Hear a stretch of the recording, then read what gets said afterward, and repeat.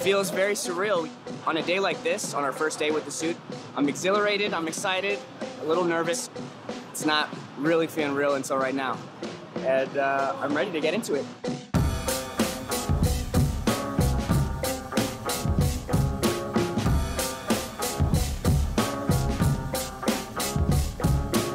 Now, slowly pivot clockwise. Boom! This was during our camera tests for the suit. We were very, very excited. This was right before we started. It got us on the right energy. Being able to see Xolo feel comfortable and enjoying himself. Honestly, this was the day that we felt, okay, this is gonna work.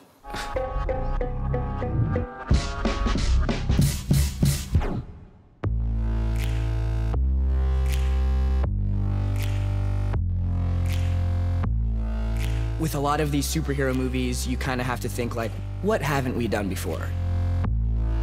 Blue Beetle is a movie that we're building from the ground up. Yeah, buddy! And I think it's so exciting to get to amalgamate the best parts from Jaime's story in the comics over the years for a fun, good old movie. Really, he's the best superhero out there, if I do say so myself.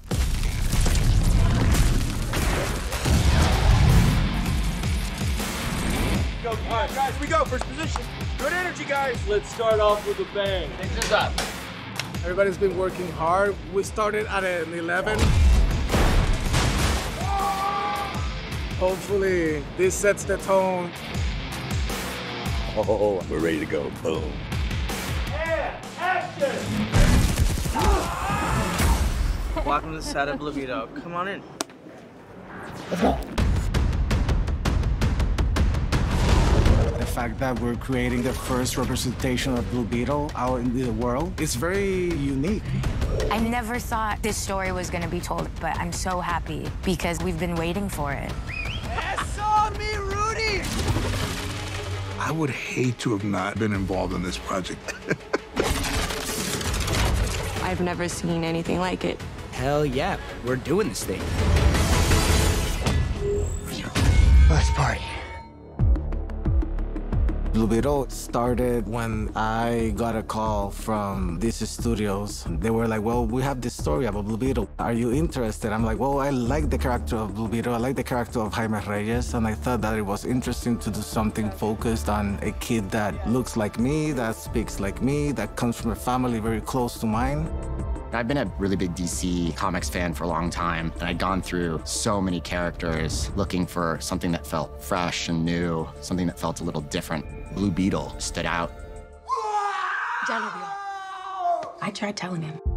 Jaime Reyes and his character stood out because of his family, the humor, and I just felt like it was exciting for the superhero genre. Our story really relates back to the comics in a lot of ways, but also does some new things that people haven't seen before. Okay, let's do this. After hearing the pitch that Gareth had written, I felt like I had the opportunity of telling an origin story that, based on my experiences, could connect with a broader audience.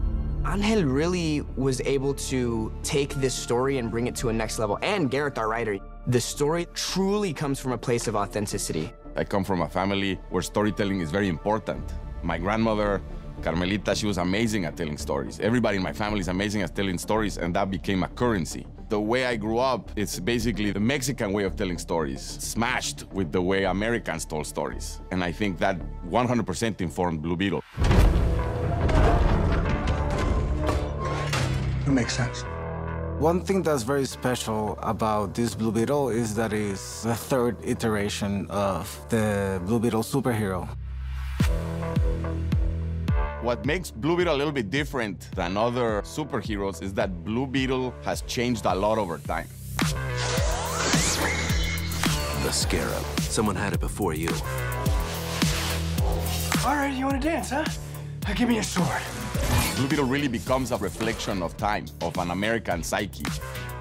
So Blue Beetle started in 1939 as Dan Garrett.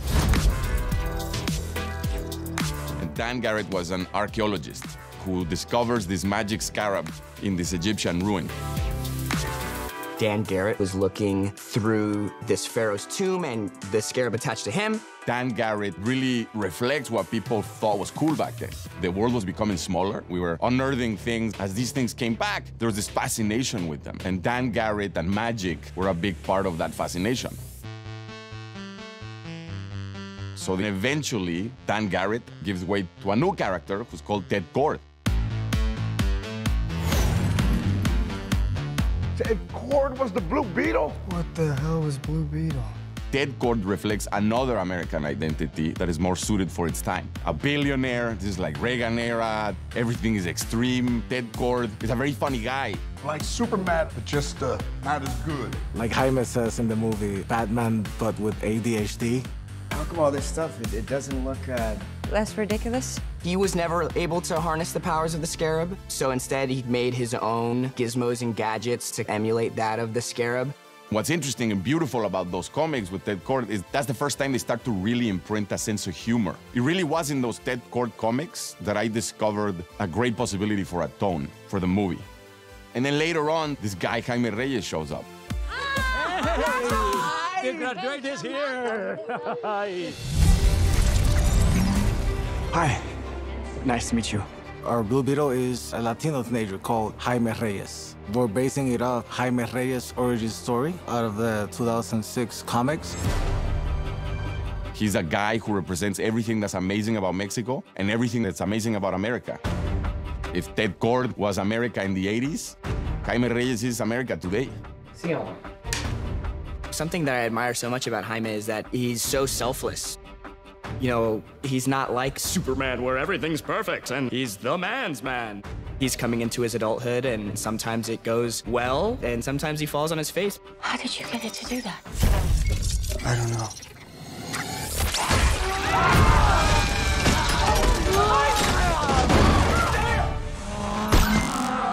Acquired.